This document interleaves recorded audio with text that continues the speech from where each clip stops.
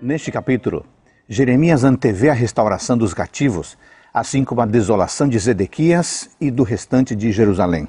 O verso-chave é o verso 6. Sobre eles porei favoravelmente os olhos e os farei voltar para esta terra.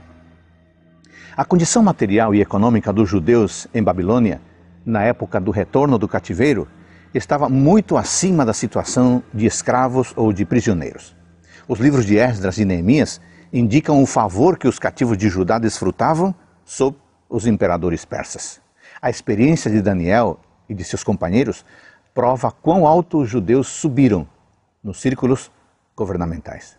No entanto, o benefício real, último que Deus tinha em mente, era o restabelecimento deles na Palestina e a completa restauração aos privilégios da aliança.